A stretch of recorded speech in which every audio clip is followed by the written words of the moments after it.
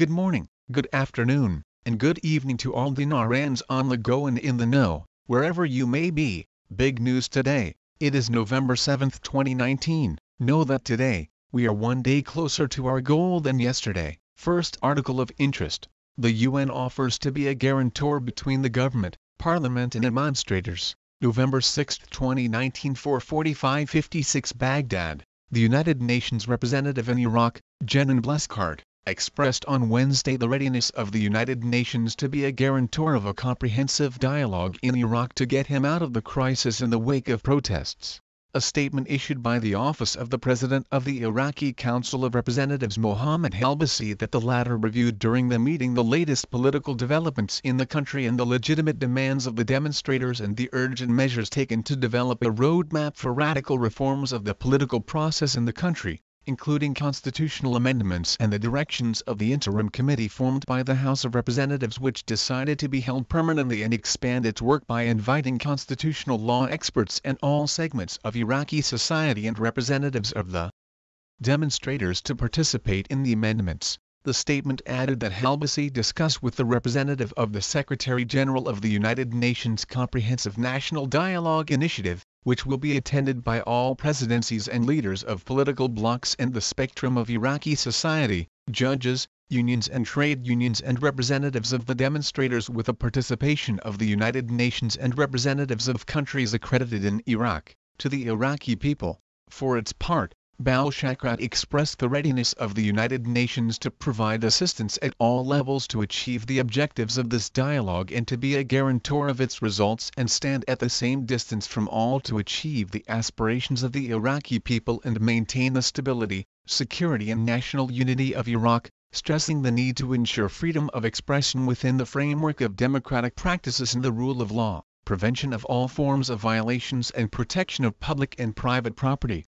The capital Baghdad and the central and southern Euphrates provinces are witnessing demonstrations launched since early October and resumed again on 25 of the same month in protest against the deterioration of living and service conditions, the spread of unemployment, and financial and administrative corruption in the state institutions and departments. Demands have risen to topple the government and parliament, and the removal of all parties involved in the political process since 2003 until now after violence and repression of protesters, which left dozens dead and hundreds injured, protesters in several predominantly Shiite cities, including the capital Baghdad, have launched a general strike by cutting off vital roads and government departments in a move to increase pressure on the judiciary, legislative and executive authorities and political parties and ruling powers to implement the demands of the demonstrators. Next article of interest.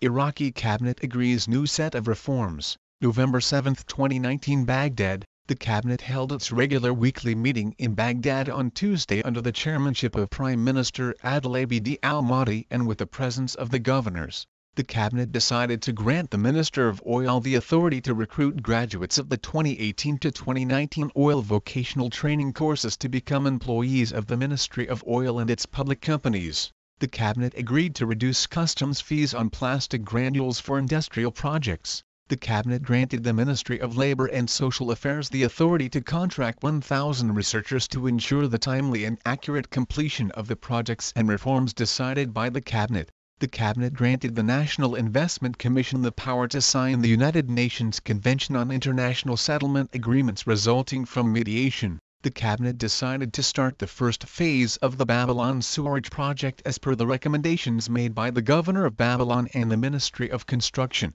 Housing and Municipalities Audit and Approval Committee, and the Executive Commission. The project will be implemented by comma. The Cabinet approved the draft law for the Iraqi Olympic Committee and referred it to the Council of Representatives. The Cabinet also approved the recommendation made by the Ministerial Council on Energy to implement projects on government land and properties after obtaining the initial approval from the owner and the relevant authorities and following all the necessary legal requirements. Next article of interest. U.S. response to ongoing violence in Iraq. November 7, 2019 In the Iraqi Economist, the United States has a strong and abiding interest in a secure and prosperous Iraq able to defend the nation against violent extremist groups and able to deter those who would undermine Iraqi sovereignty and democracy. As the world watches events in Iraq unfold it is increasingly clear that the government of Iraq and the country political leaders must engage seriously and urgently with Iraqi citizens who are demanding reform.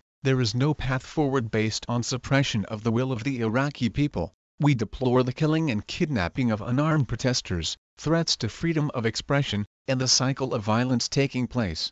Iraqis must be free to make their own choices about the future of their nation. Next article of interest. Protests force first oil field shut-in. Protesters at the gate of Umqayz airport stand on top of an armored vehicle that was taken from Iraqi security forces during skirmishes on November 5, 2019. Ali Al Akili Iraq Oil Report, by staff of Iraq Oil Report published Wednesday, November 6, 2019. Kirkuk Basra, Iraq's massive protest movement is having its first direct effects on the country's oil output, its production is now curtailed at the Qayara yield. Two officials in the state-run North Oil Company NOC, which oversees Qayara, said the field's 30,000 barrels per day BPDA production had been shut in for several days because road blockades in Basra are preventing tanker trucks from bringing crude to the Khor al-Zubair airport. Next article of interest, Iraq announces return of over 45,000 people to military service. Iraqi soldiers patrol the streets of Mosul as the operation to retake the city from Daesh terrorists continues on May 16, 2017 Yunus Keles Anadolu Agency, November 6, 2019 at 2.43 am Middle East. The Iraqi Defense Ministry yesterday announced the return of more than 45,000 soldiers into the national military service as the government attempts to curb unemployment and respond to protesters' demands. A total of 45,049 soldiers have been returned to the national military service, the ministry said, adding that it was continuing to issue administrative orders to return all dissolved ex-soldiers to the service. According to the ministry official data, there are 108,000 dismissed soldiers from the Iraqi army. In 2014, the ministry dismissed thousands of soldiers after leaving their positions and fleeing during the Daesh invasion on northern Iraq. Next article of interest. Could central bank digital currencies soon become a reality? Some governments believe these units can fend off the cryptocurrency threat and may take root in key economies. Fundamentally, digital currencies developed by central banks would be different from cryptocurrencies, which are popular but not formally recognized as legal tender file. Dado Ruvic Reuters the European Union worried that Facebook's Libra cryptocurrency could erode state control over fiat money, has urged the European Central Bank to look at issuing a digital currency. A draft document seen by the Reuters news agency shows, here are some key questions on the rise of central bank digital currencies CBDCs and their progress in entering the mainstream. Are CBDCs different from cryptocurrencies? Yes, and fundamentally so. CBDCs are traditional money, but in digital form, issued and governed by a country's central bank. By contrast, cryptocurrencies such as Bitcoin are produced or mined by solving complex mathematics puzzles and are governed by disparate online communities instead of a centralized body. The common denominator is that cryptocurrencies and CBDCs, to a varying degree, are based on blockchain technology, a digital ledger that allows transactions to be recorded and accessed in real time by multiple parties. While some retailers accept Bitcoin as a form of payment, cryptocurrencies are not recognized as legal tender, which CBDCs, by definition, would be, and unlike the value of central bank money, traditional and digital, the value of cryptocurrencies is determined entirely by the market, and not influenced by factors such as monetary policy or trade surpluses. What about electronic cash? The rise of technologies such as contactless debit cards has made it easier for consumers and businesses to use electronic cash, or e-money, to pay for goods and services but this also differs from CBDCs, electronic cash, defined by the Bank for International Settlements as a store of value for making payments to retailers or between devices, is usually held at banks,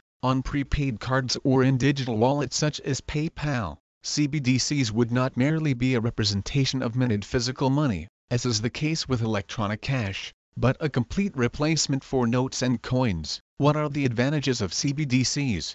Central banks think CBDCs could make payment systems, often time-consuming and costly, more efficient by reducing transfer and settlement times and thus stoking economic growth. Some central banks think CBDCs could also counter the rise of cryptocurrencies issued by the private sector such as Facebook's Libra, planned for launch in June 2020. Bitcoin and other virtual currencies, hampered by the wild volatility, have presented few realistic threats to central banks' control over money, but central bankers fret that Libra could reach billions and could quickly erode sovereignty over monetary policy. CBDCs, they think, could address problems like inefficient payments that cryptocurrencies seek to solve while maintaining state monopolies over currency. In the era of negative interest rates, CBDCs are also seen as offering a tool to control how businesses and people use money. CBDCs, the argument goes, could be used to charge households and businesses to hold cash, forcing them to spend and invest. Are CBDCs close to becoming a reality?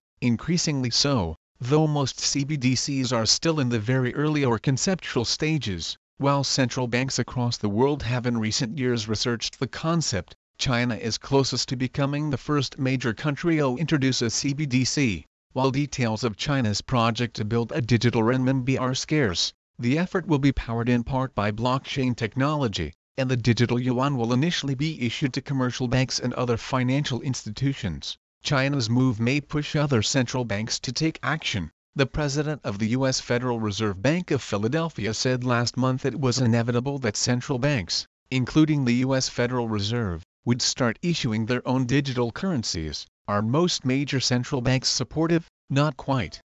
Caution and skepticism exist in many quarters. The Bank of Japan BOJ, for example, has warned that uncertainties over the effect of CBDCs on commercial banking must be addressed. The BOJ has also scotched the idea that CBDCs could boost the effectiveness of negative interest rate policies. Some households and companies, it thinks, would hoard traditional cash to avoid being charged for holding digital currencies, if central banks were to issue and apply negative rates on them. More articles of interest to come. Don't forget to hit that like and the subscribe button and check out the CEP Currency Exchange Planner. The link is in the description panel. Make sure to tell them the Dinarian sent you so you get the extra pre-negotiated discount as my subscriber. I encourage you, knowledge is power. Stay informed and stay alert. Over and out for now, the Dinarian.